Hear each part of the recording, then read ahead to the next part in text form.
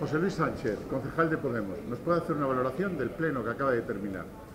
Sí, considero que el pleno que acaba de terminar es bastante importante, puesto que era la aprobación definitiva de los presupuestos de 2020. En cuanto al desarrollo del pleno, eh, tenemos una sensación de que el equipo de gobierno, como ha hecho hasta estos momentos, eh, sigue yendo a trompicones. Este es un pleno que el alcalde nos avisó tres veces que se iba a celebrar. Unas veces por la mañana, otras veces por la tarde. Eh, al final nos avisó el domingo para hacerlo hoy, con lo cual prácticamente eh, no hemos tenido tiempo para consultar con nuestros compañeros en estos temas tan importantes cuál debía ser nuestra posición como partido.